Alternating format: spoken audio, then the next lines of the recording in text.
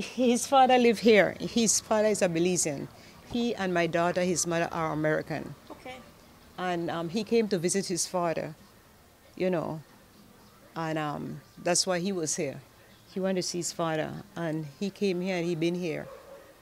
You know, his mother was just um, getting ready to come and get him, take him back. To the US. hmm Yeah. Okay, so the last time you saw him was when?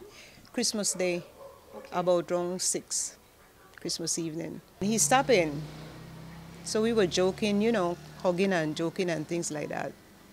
And that's the last time I saw him. If he went away, which we doubt, and if he's in the, in the Belize city or Belize district, wherever, he would have already got in touch with his mother or his sisters.